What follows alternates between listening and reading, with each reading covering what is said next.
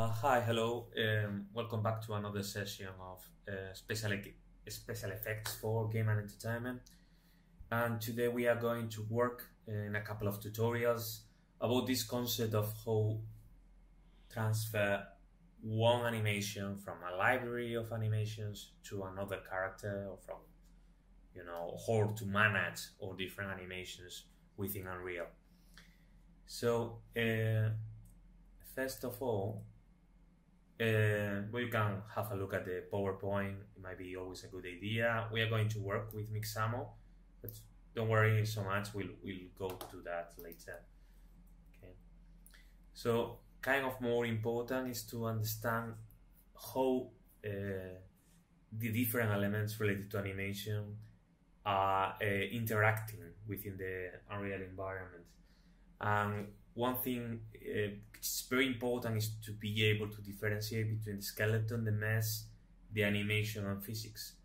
You, uh, you see on this diagram, everything is part of the blueprint. Blueprint are these blue ones, okay, and then the different colors are indicating the the, the kind of uh, uh, data structure that we have.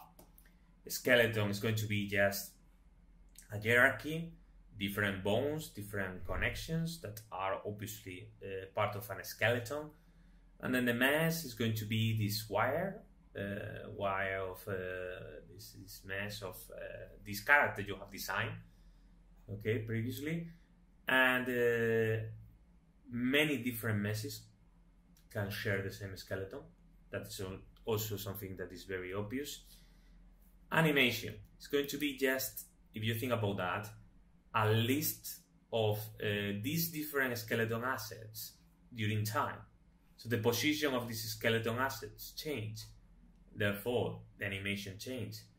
That is what basically we have when we do motion capture. It's just um, a collection, a list of these, uh, you know, points, these bones, and these uh, vectors in time. And then we, we need uh, a physics system. When we do things more complicated, like you know, fur or uh, clothes or, or hair or any other uh, system of particles that is associated to that character. So we will need physics as well, but we are not going to work with that today. So so far today we are going to do these two different exercises.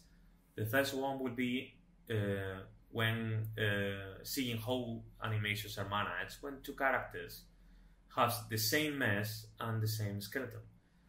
Uh, then later we'll do this other case where two characters have different mesh and a skeleton, okay, different skeleton as well.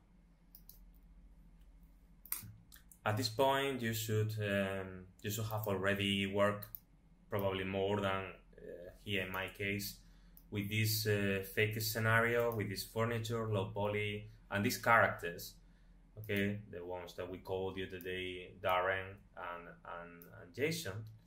And you should have been already uh, customizing these, these different elements in the scenario, lights, colors, textures, and to make this a little more uh, realistic if possible, incorporating other assets from other projects or whatever. So, uh, these uh, these characters are ready already to perform different animations. Uh, if you remember, with the other day we we talk about some of the animations when you select the character. You have here this uh, this panel, this animation panel, and uh, you have the one that is uh, selected by default uh, associated to that blueprint, and then we have the this option which is animation assets which would include all the ones that we have already uh, imported. Okay. If you need to import more animations, uh, one way to do it is through uh, through the Epic engine here to this uh, animation starter pack, and you just select download, says open on Epic. Okay, and then later you have to say add to project and you select the project we are working in, which is this one. Okay, so uh, well, I already imported that before, so you successfully imported animations. It should be quite straightforward to change that. as I say, you just select this animation asset, and then later here in browse, you should have the collection of the different animations that we have imported. So you just select one. There is no one that is related to this particular thing of being sit down. So I'm going to just select death. Okay, and I'm going to also select another death, and I see that you cannot find the death here. And why is that? Well, it is very easy to explain. It's because uh, animations by default are associated to a, a, a, blueprint. Okay, so in this particular case, the blueprint is this one. So you know, instead of a mesh, what you would is probably use the, the blueprint.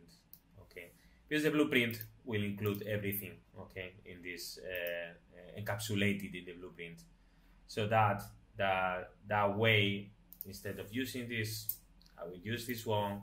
Nobody will not not the difference. Okay, so if you go to animations, if I manage to find that, animations blueprint or use animation assets. Okay, so animation assets, I can select, for example, death 2. There it is. Uh, cannot find that. Okay, so death 3, for example. So that way I'm, I'm playing two different animations death okay although they look very similar okay